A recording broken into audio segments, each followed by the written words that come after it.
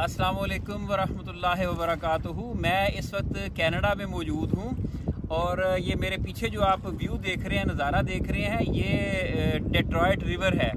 ये दरिया जो है कनाडा और अमेरिका को सेपरेट करता है। इस तरफ़ हमारे कनाडा है और बैक साइड पे जो आप देख रहे हैं, ये अमेरिका, मिशिगन स्टेट है। और यहाँ पे जो आप खास चीज़ देख रहे हैं, ये मेरे पीछे आप देखें, ये गूज है, इसको ब्रेंटा कैनाडेंसिस या कैनेडियन गूज भी कहते हैं।